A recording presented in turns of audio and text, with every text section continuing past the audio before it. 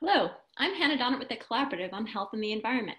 Che enjoys bringing you the latest environmental health science through our partnerships, calls, webinars, science serves, publications, and social media. I would like to welcome everyone to today's Che EDC Strategies Partnership webinar, which is titled Non-Toxic, Guide to Living Healthy in a Chemical World. Our moderator today is Jerry Heindel, founder and director of Commonweal's Healthy Environment and Endocrine Disruptor Strategies, HEEDS. We will leave time following the presentation and interview for a brief Q&A session. You may type in questions through the Q&A feature available on the top of your menu bar at any point during the presentation. After the presentation, our moderator will read out questions for our speakers to respond to. We will get to as many comments and questions as we can during the Q&A period, and we'll follow up on unanswered questions for the, after the webinar. For those of you who called in on the phone, we have posted slides to accompany today's webinar on our website. You can download these by going to healthandenvironment.org. Please scroll to the bottom of the page and select today's webinar. On the webinar page is a link to the slides. Everyone on the webinar right now is muted with the exception of our moderator and our speakers. This webinar is scheduled to last for 45 minutes and is being recorded for our call and webinar archive. With that, I'll turn things over to you, Jerry. Thank you very much. Welcome everyone to our webinar highlighting the new book, Non-Toxic, Guide to Living in a Chemical World. This book was written by Aly Cohen and Fred Saal, and it's actually the second book, as you can see from looking at the slide here, that the two of them have written. So a little background on each of them. Aly Cohen is a board certified rheumatologist and integrative medicine specialist and founder of the Integrative Rheumatology Associates. In 2015, she created the smarthuman.com to share environmental and prevention information with the public. She lectures nationally on environmental health topics for elementary schools, high schools, colleges, university, medical schools, and even physician training programs. In 2016, she was awarded the Burton Eichler Award for Humanitarianism. Fred Vom Saal is Curator's Distinguished Professor Emeritus of Biology at the University of Missouri. He is a world-renowned expert and leader in the endocrine disruptor field. Indeed, he was one of the founding fathers of the field. His research focuses on low dose effects of BPA. For his outstanding contributions to science and the environment, he was honored with the Heinz Award, which comes with an unrestricted cash award of $100,000. This new book we're going to discuss today is an outstanding contribution by two experts in the field each coming to the topic from a different angle, a clinical angle and a basic science perspective. It does a great job of helping us all understand the effects of endocrine disrupting chemicals on our health and how to protect ourselves from these exposures. It's the most comprehensive, detailed, but easy to understand discussion of this topic. Not only does it discuss all the chemicals and their effects, but also how to reduce your exposures and includes your own non-toxic household uh, guide to make products so that uh, you can clean your house non-toxic manner. And it even helps you with healthy recipes. So this book really then has it all. So let's go ahead and get started. I'm going to ask both Aly and Fred some questions and they'll will respond. And if you have questions, put them in the Q&A and we'll ask those at the end. So the first question is a three-part question. Why did you write this book? What niche does it fill? And what audience was it intended to, to be written for? Okay, I'll field that question. Thank you, Jerry, and thanks for having us. Um, so as you can see, we wrote a book together, a textbook with 26 contributing authors in 2017, which was pretty much got geared towards uh, those in an academic setting, with science background. Um, this book was designed purposely for the general public to reach uh, sixth grade education and below, um, to not be socioeconomically limiting in its recommendations. Um, people do not need a science background per se to understand the concepts, the recommendations, the tips. Um, and it really is the first of its kind that we're aware of um, when we research this type of guidebook, which we fought very hard to make sure people knew it was a guidebook. Uh, it's for people anywhere on their journey, um, and this is a journey from beginners to experts, and it's a resource that we hope people will refer to again and again. Terrific, thank you. So why is it that some chemicals found everywhere and are actually useful chemicals for their specific purpose have these toxic properties that lead to disease? So could we have the next slide?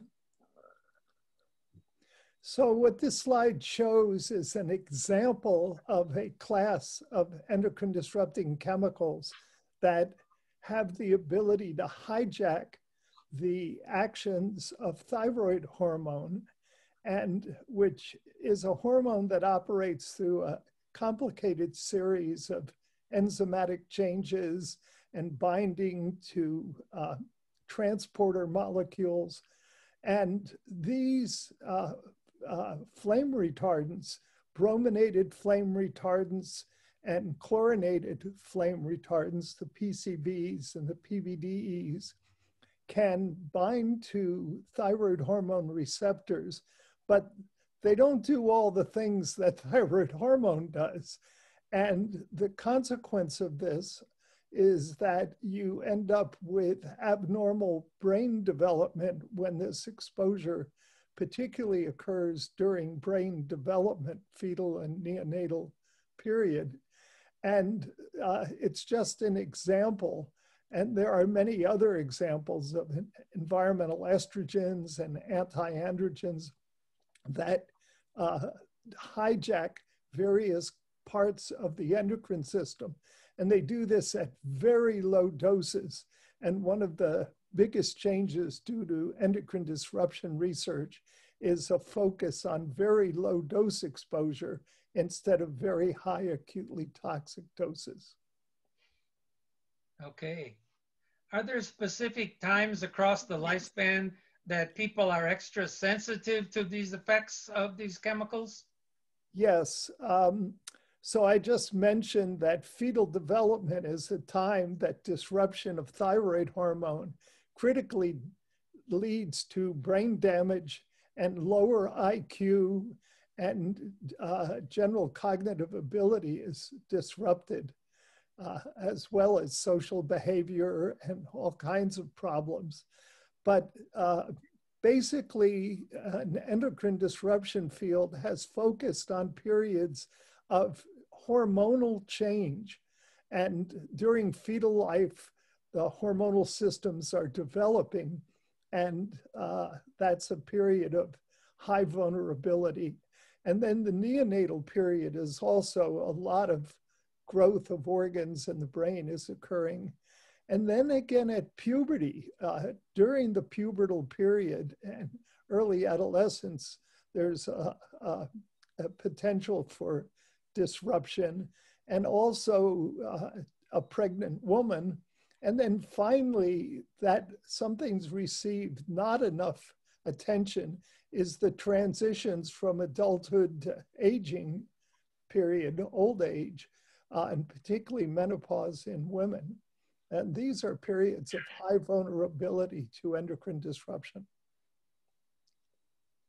Okay. So in your book, you, you mentioned that we live in a chemical world. What do you mean by a chemical world? Uh, the next slide gives you some indication of uh, the household products that uh, are going to contain various kinds of endocrine disruptors. And these are covered in substantial detail in our book, Non Toxic. And um, again, if you think of vulnerable periods, you know, you think of plastic toys that are going to be made from polyvinyl chloride and leaching uh, diethyl uh, excuse me, um, diethyl hexylphthalate, a phthalate, and BPA. Food containers also uh, leach these chemicals. There's lots, uh, we'll cover drinking water and food. And then uh, things like air fresheners that contain phthalates as fragrance carriers. Uh, these are uh, not good for you. So there's lots uh, of, there are lots of products in your home that uh, you have to be very careful about. And this just shows a collage of uh, pesticides, uh, things like a wine bottle that is likely to have BPA in it due to the containers that the wine is held in before bottled, uh, pills that uh, often have phthalates in the pills, the lining of cans, which is made from BPA, food packaging, uh, uh, which is a problem I'll talk a little bit more about. So um, again, it's just all of these products have potential problems with them. Okay, thank you. you also highlight that chemicals that can cause harm, as you just mentioned actually, are everywhere. Can you give some examples of more specific chemicals than just this picture that you just showing there? Yes, so in the book, uh, we uh, have a lot more detail about what is going on in your home and uh, the flame retardants and nonstick, uh, uh, or excuse me, the um, anti-grease uh, things that would be applied to furniture, for instance. Um, there are many different sources of endocrine disruption in the home. Uh, and uh, I don't want to go through all of them here, but uh, this is an indication that uh, they're really uh, quite a problem. Okay. Something else I noticed in, in your book and that you say, we are what we eat. Where does that come from? Okay, if you look at the next slide, um, parents can uh, associate with this. Here's a uh, really pretty horrible example of a breakfast cereal eaten by children uh, that have coloring in them, food coloring, food preservatives, uh, all kinds of additives, uh, flavorings, and uh, none of these chemicals are being tested. And so there's thousands of chemicals in our food that uh, we know nothing about. Uh, and you can show the next slide. Um, you know, we've got a Food and Drug Administration, and it has a drug division that tests for the safety and efficacy of drugs prior to their use. The food division of the Food and Drug Administration uh, does not do this. They take exactly the opposite approach. And next, uh, they allow industry to claim that products that are not tested uh, are declared generally regarded as safe. And the rule that they work by is that you have to prove through human disease that they aren't safe. And this applies to literally thousands of chemicals in our food. Could I have the next slide? And this is a cartoon that basically says, you know, oh, yes, we test for plastics. And it's kind of a long term test because it's an uncontrolled experiment to see what eventually happens to people who are exposed to these chemicals. There's no pre market testing. And this is just really unacceptable. Next. So it's that sounds like one of the things you're saying is that this whole area of processed food is bad for us. Is, is that true? Yes. The uh, so could I have the next slide? Pros. Oh, never mind. I'm sorry. You can go back. Um, the major problem that we face is that processed foods like this the box of Froot Loops um, have so many chemicals in them that have never been tested and never identified to the public. There's no way that you or I can go and find out what these chemicals are. And so uh, this is a particular problem with processed foods that are also loaded with salt and sugar uh, and uh, are nutritionally really terrible for you in many cases. And Aly will get into that in more detail. Okay, so what about the drinking water? Is that a source of uh, toxic chemicals? Yes, so that would be the next slide. And just as an example, we're finding out that there are a lot of chemicals that are not being tested in your drinking water. For instance, the perfluorinated compounds, PFOA, PFOS, these are compounds that DuPont and 3M have just lost multi hundred million dollar, billion dollar, excuse me, suits over. We all know about the flint, lead exposure, and other heavy metals that are not adequately tested. And incidentally, there are supposed safe levels declared by the EPA for lead, but the scientific and medical communities are unanimous that there's no safe level of lead. And there are things like perchlorate, which is present in rocket fuel and explosives and is ubiquitous in water that's drunk in the United States. And it's particularly terrible around military bases where people in our military are being contaminated terribly by this chemical.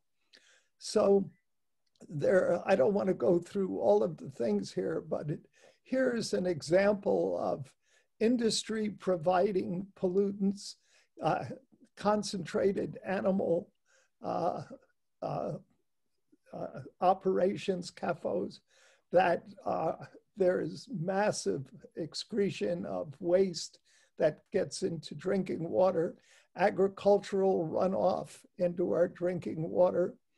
And so uh, it's a huge problem. And uh, Aly will get into remediation uh, things in your home that you really need to do as this comes into your home it's really up to you to clean the water using water purification systems because it's not clean coming into your home. Okay. So from the knowledge you gained from writing this book, can you come up with a list of the top 10 or 12 endocrine disrupting chemicals and where they come from and diseases that they cause? So this will be, I think, Aly, go ahead and. Uh, oh, sure. So yeah, I mean, if you had to pick out of 90,000 chemicals that are currently available in our world, uh, in the US, uh, these are a top 10, you know, list um, of some of the most well-studied uh, internationally um, and supported by the World Health Organization, the American Academy of Pediatrics, Endocrine Society as um, endocrine disrupting chemicals, where they come from, um, and well, I should say the previous slides is where they come from, but really what are their health effects um, as we know so far. And, and, there's more to be disclosed, I'm sure. But, uh, you know, these are some of the ones that we talk about in the book, Non-Toxic. And we also try to give people very, very um, productive, uh, practical, cost-effective recommendations for how to lower those exposures from all of the stuff that we love. And so um, we want people to know the full story from the problem all the way to the solution. Terrific. So let's let's move on then to how to reduce the exposures. Yeah, and so just to tie in how endocrine disruption uh, chemicals can these chemicals can link are linked to inflammation, and we have plenty of studies to show their increase in a lot of what our immune system was designed to do, which was to get angry when it gets exposed to things it doesn't recognize. So we see that there's elevation of, of, of inflammatory markers um, like IL 6, TNF alpha um, IL-17, uh, leading to the um, development of many chronic health conditions such as diabetes, heart, heart disease, autoimmune disease, a lot of these on this list um, and also in effect can lead to increased response to COVID-19.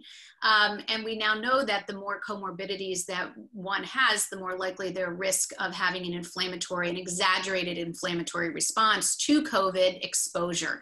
Anyone can get infected, but it's those that have more co uh, comorbidities on board, uh, which basically makes them more likely to have inflammatory um, uh, markers elevated, the more likely they can have um, uh, a worsened course. Um, and what we're tying together is really how chemicals affect inflammation, inflammation affects um, comorbidity risk, um, and really that, that leads to the problem in stage three, as we can see.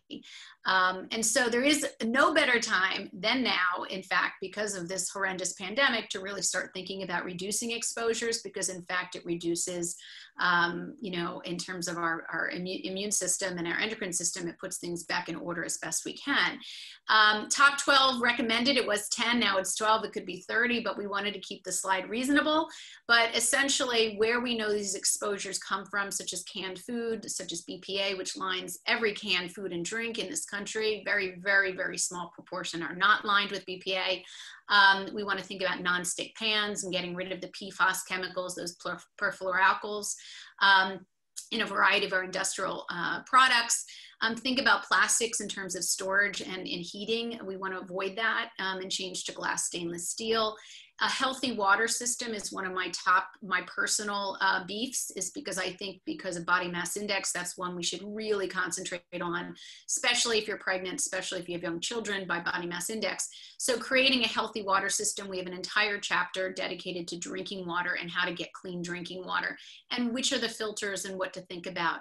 Um, so it's very easy for people to pick up and understand Dusting, uh, cleaning is very important due to the chemicals in those, in dust in homes.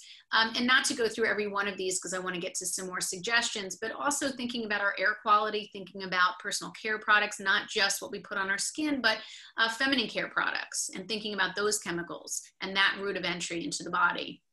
Um, understanding how sleep, diet, exercise, stress management all play into inflammation in terms of how they lower some of the key components of the immune system um, is really a mechanism by which we can protect, all of us can protect ourselves in some way from these chemicals and also help to reduce those chemicals.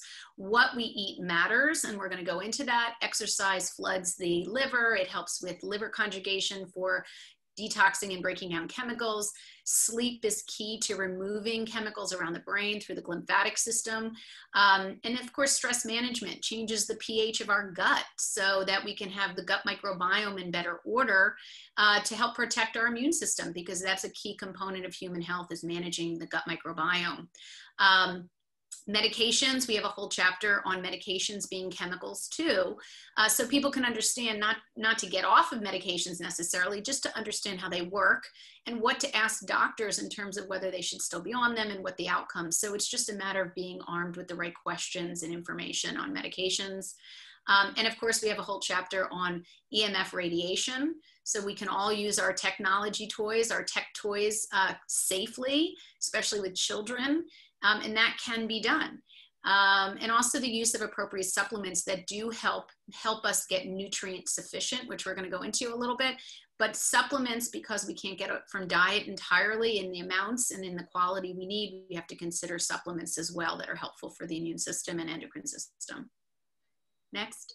Okay, thank you. So would you go into a little more about vitamins and supplements and things that you can do you know, sometimes you can't get rid of an exposure. So if you are exposed, is there something that you can do to reduce the toxicity of those chemicals? Yes, and that's why this this slide's so important. Um, there's tons of data, I mean, remarkable amounts of information that really shows that when we're nutrient sufficient, we have what our bodies really need, what our anthropologic template of our DNA, what we've been used to eating and drinking for millions of years. When we are nutrient sufficient, we are in fact better as human beings equipped to handle these toxic exposures.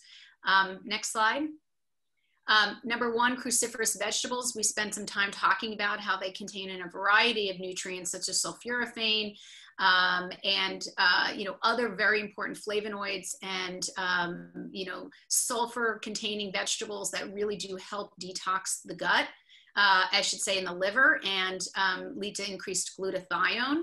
Um, so cruciferous vegetables are a winner when it comes to what you can do from a dietary standpoint to help reduce um, harmful effects from many exposures and to reduce the burden. Next.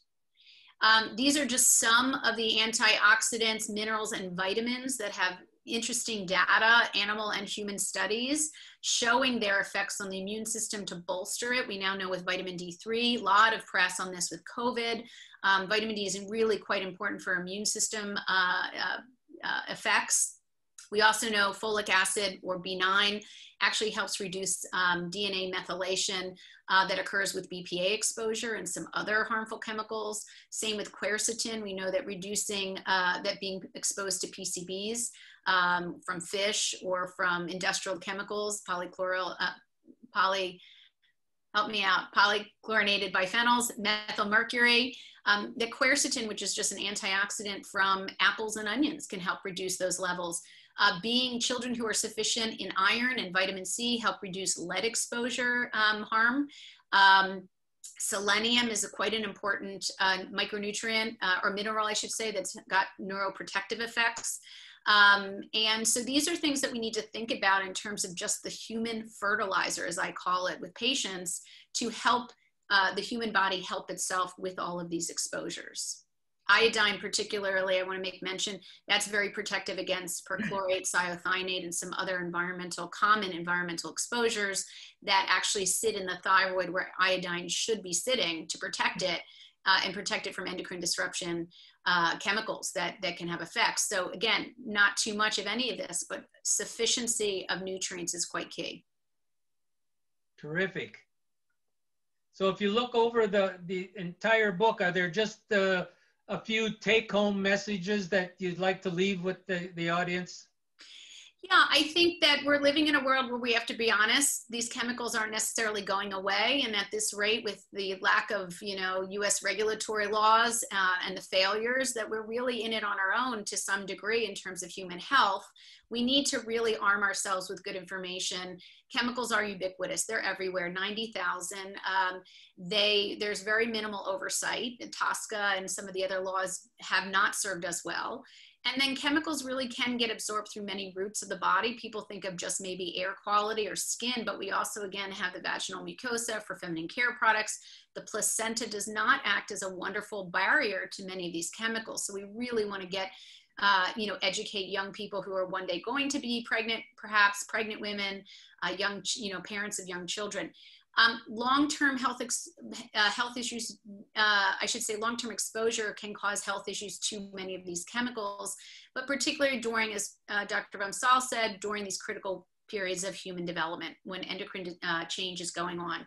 Um, radiation has its risk. We have a chapter on it to show people what the problems are, but also really simple ways to manage exposure in your home um, that don't take a lot of energy or effort or cost um, noise pollution, stress, all of these things we need to think of as, as environmental exposures that can be worked on. And really just being aware of what goes on in and around your body is a great way to start to reduce those exposures as awareness. We actually put together the best of what we could find for vetted resources, lists, vetted um, apps, websites. Uh, you know, we did our best to make sure we had evergreen information that people could refer to over and over again on the internet. Um, but we also gave our own opinions and, and, and specifics. So um, I really encourage people to take a look um, at this book if they're interested in starting this journey wherever you are on it. And you mentioned other resources, and I, I know you actually have a list of some other resources that people could use, right? Yeah, this is a wonderful list. Um, we used a lot of uh, science from many of these organizations. They also have, as I mentioned, ongoing information on uh, even radiation, like Environmental Health Trust is a wonderful group.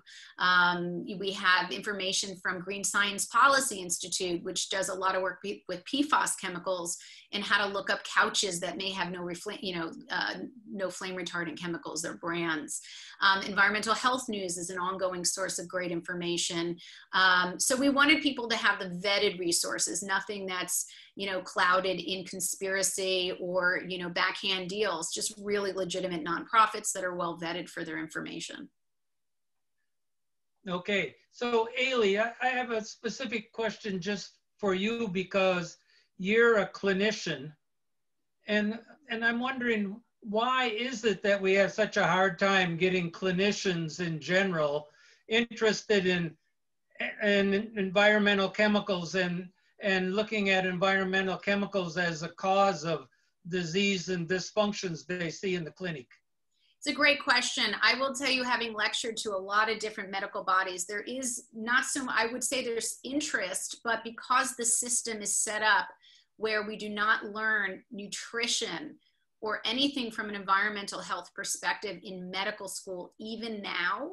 Uh, I haven't been in med school in 25, 30 years, and even then we didn't get it. But apparently now there's not even but five hours of nutrition offered in training as a medical doctor um, even as we speak. So I think that it's more of the system as an issue. Plus, we have, you know, as a clinician uh, in, a, in a typical practice, you have 15 minutes with a patient, which is very limited in, in terms of what you can share with the patient. And you need to be well trained to be, I mean, not so much well trained, but you need to have um, good information. My goal, my hope, um, and I think Fred's is as well, is to really educate doctors, healthcare providers, nurse practitioners, um, health coaches everyone who picks up non-toxic will have that opportunity to learn and to share with those around them at a very reasonable level. And i think that's what the textbook is not able to do with the with the general public but was meant for doctors who needed that extra dive deep dive into the science.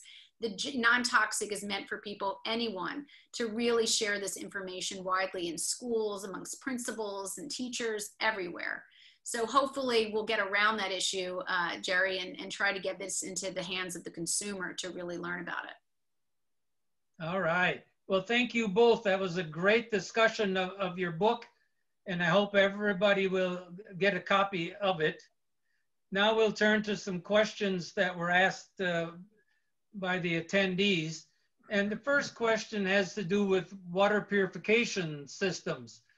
Um, what can you is what can you do in your in your home? I know there are reverse osmosis systems that you can put in your whole house that maybe are too expensive, but are, are there any kind of point of source or something you can use in the kitchen? People are really interested, especially in lead these days. So is there anything really good for lead? So actually, in my house, I have uh, individual units under uh, the sink that are small and much less expensive and less complicated to use than the whole house systems. And uh, they're more efficient also. And they, uh, the one I have uh, that's reverse osmosis also has an inline carbon filtration uh, trap. And um, so these comb this combination of carbon that's going to uh, absorb or adsorb onto the carbon, uh, lipophilic and other compounds, and the reverse osmosis that will get rid of other uh, metals and, and things like that can give you a, a much different level of purity of your water. Nothing is 100%, but you can get pretty close with this combination. And I'll, I'll make one more addition to that because we have a, I have a reverse osmosis in my office here in my office and at home because they are about 250 to 300 dollars Um, very cost re reasonable cost, about 130, 150 for a plumber to put it in in one hour, no longer, and about $40 a year more or less, depending on how much you use it to change out the cartridges. Um, and I think that that system is much more cost effective than, say, buying bottled water, which contributes to Earth's plastics um, and avoids the plasticizing chemicals in our bodies. Um, and so I think it's a good way to go. Um, and, and like I said, I, I, I, think that you have to know, be, be well, well versed and vetted on where to get them. And we help you with that through the chapter on drinking water in the book. All right. There's a question of, do you have any idea how many of these synthetic chemicals are in a person? Well, the Centers for Disease Control uh, reports on a few hundred of the thousands and thousands of chemicals out there. Uh, and uh, there have been, uh, CHE and other organizations have looked at, uh, and Commonweal uh, has looked uh, at individuals and profiled that there are hundreds of chemicals that uh, you can assay in people. And the assumption is there are many, many more. So uh, the number of chemicals that are really widely uh, being exposed to is uh, really daunting at the moment. And as uh, Dr. Cohen said, the current Toxic Substance Act, TSCA, that was revised a few years ago was primarily written by industry for industry, not for public health. Okay, thank you. So this question relates to what are the author's thoughts on lifestyle recommendation as it relates to our population that have limited access in low resource communities. They don't have access to good grocery stores and fresh fruits as easily. So what can they do at least to get started to have a, a lower exposure to chemicals and better nutrition? I'll, I'll field that. So I would say, first of all, thinking about water and creating that kind of system where you don't have to bring bottled water home. I mean, we have lead here in, in Newark, New Jersey. I mean, it, it's a pervasive issue of many of these contaminants. So I think understanding how to get a hold, I would love to see people get grants to be able to get RO filters in their homes. I don't know if that exists, but I think it's worth exploring. But when it comes to food, you know, frozen organics, for instance, are, are, much cheaper than fresh organic foods and perhaps have even more nutrient quality because they're flash frozen at the point of picking. Whereas many um, organic fresh foods, so to speak, have traveled for a while or they've been frozen to a certain degree to tee them up uh, to go into the supermarket. So we don't always know the quality uh, or the nutrient value of fresh organics, believe it or not. So they're variable. So I recommend in terms of cost, trying to find in big box supermarkets, flash frozen or just frozen organic produce, fruits, vegetables.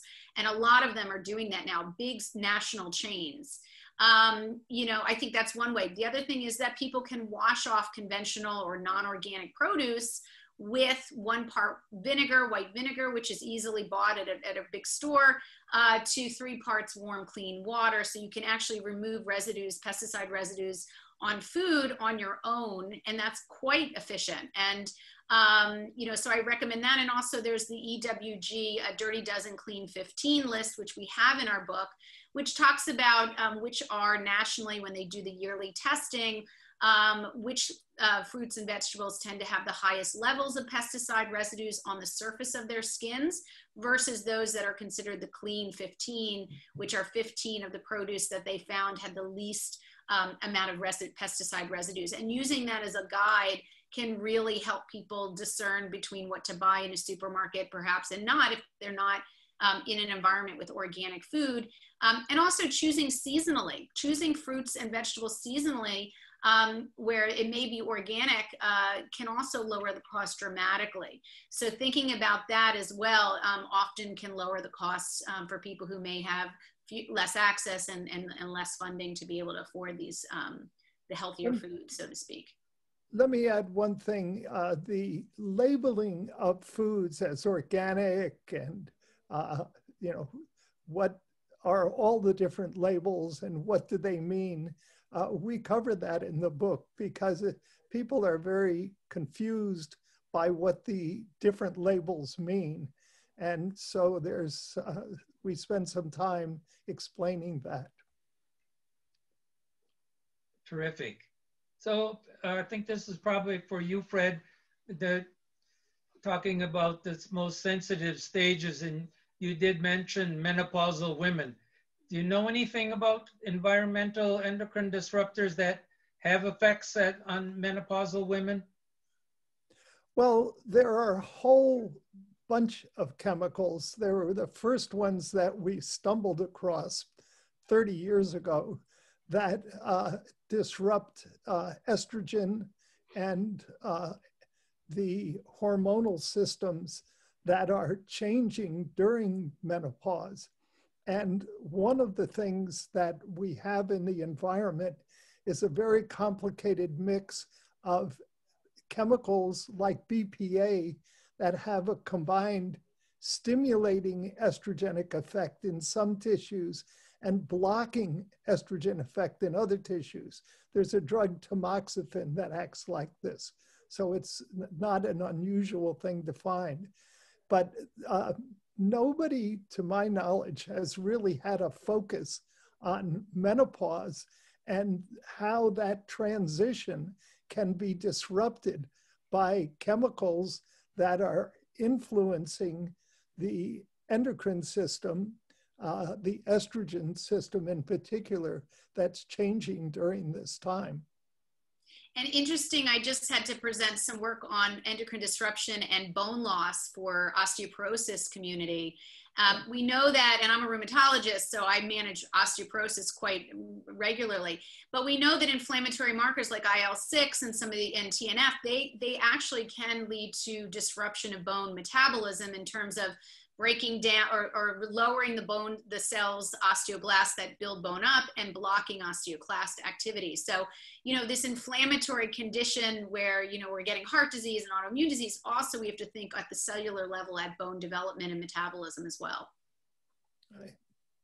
All right. So th this question says uh, that this person heard that fresh organic fruits and other things like that are, are often sprayed with fungicides and paraffin before they get to markets. Do you know about that?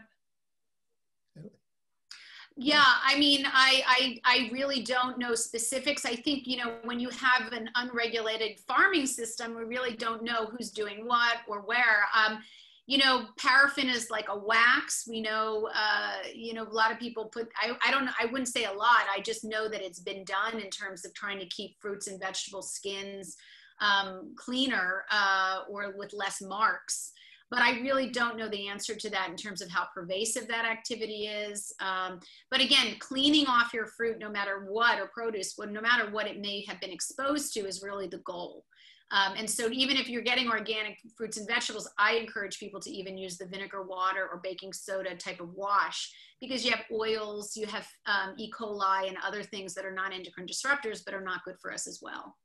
But uh, the Environmental Working Group, uh, EWG.org, is a really good place to go to get that type of information. I would recommend uh, looking through the lists that they have of uh, different types of fruits and vegetables and what are recommended.